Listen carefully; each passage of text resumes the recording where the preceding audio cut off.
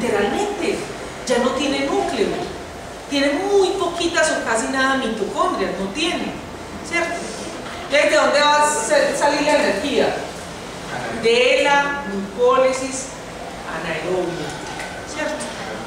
Bien, entonces aquí vemos los diferentes destinos, entonces el piruvato se puede ir, ¿cierto?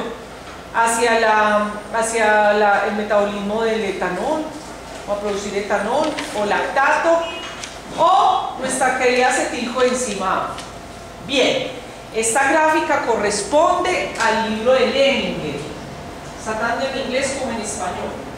Bien, Leninger. Bueno, a ver, ahí está parecidito. Ahí vimos entonces, ya ese es un resumencito, también es de nuestro querido Leninger, que hoy en día se conoce también como el libro de Next Fox. Next Fox. Ellos son los alumnos de Leninger. Ya fíjense que ese piruvato o se puede ir, dependiendo de las condiciones, hacia lactato, producción de lactato, ácido láctico o hacia encima para entrar al ciclo de Y lo vemos también. ¿Quién hace esa reacción? Pregunta de examen. De convertir piruvato en lactato. La lactato. La lactato deshidrogenasa. Muy importante, ahorita vamos a ver por qué, más adelantico. Bien, vea, tenemos entonces la regulación, ¿cierto? La regulación de la glucólisis básicamente se va a dar por estos ítems que vemos acá. Es decir, la glucólisis se va a prender, o sea, se va a acelerar o se va a frenar.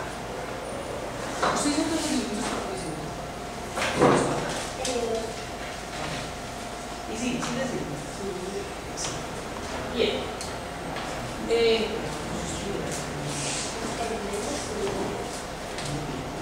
entonces fíjense que nosotros podemos regular la glucólisis. La célula dice, vea, pues ella no piensa como nosotros, ¿cierto? Sino que las señales y el lenguaje es químico.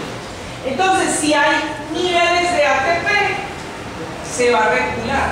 Si hay mucho ATP, ¿cómo creen ustedes? ¿Cómo creen? Ahí sí creen, aunque en ciencia no se puede creer. Pero, soy así.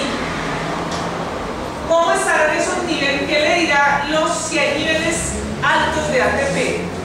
¿Qué le dirá la glucólisis? actívese o inactívese.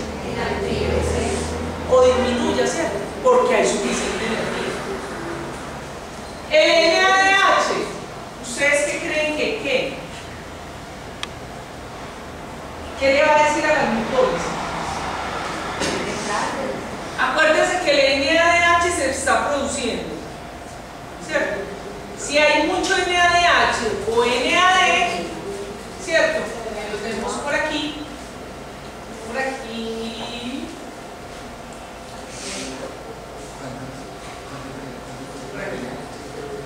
Si nosotros tenemos ese NADH, nos va a decir si la glucólisis debe incrementarse o disminuirse, acelerarse o desacelerarse.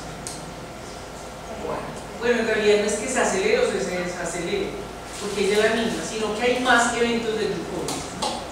Y vamos entonces a ver lo que eh, corresponde a lo que se llama el efecto Pasteur, aunque esto lo van a ver con eh, mayor detalle y lo vamos a ver ligeramente en hematología, eh, el alosterismo, ¿cierto? O el cambio de, las, de, la, de la parte física de las enzimas y la regulación hormonal.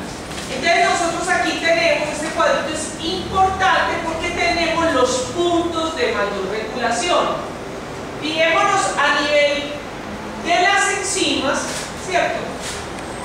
Entonces la regulación se va a dar a nivel de la cual, de la exoquinasa, ¿cierto? Se va a dar aquí a nivel de esta, eh, donde se da la, eh, producción de fructosa 1,6 eh, bifosfato,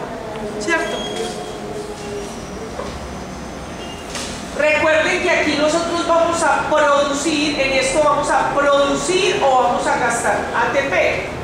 Entonces, si nosotros aquí estamos gastando ATP, ese ATP va a ser un indicador, si estamos gastando ATP, se va a convertir en ADP.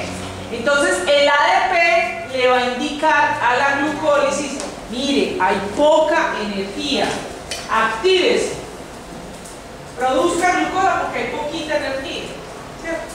Bien. También lo tenemos en este paso donde el fosfopiruvato se va a convertir a piruvato. Como estas enzimas de acá no son bidireccionales, sino que solo tienen un solo sentido, entonces se convierten en enzimas de regulación, ¿cierto? Porque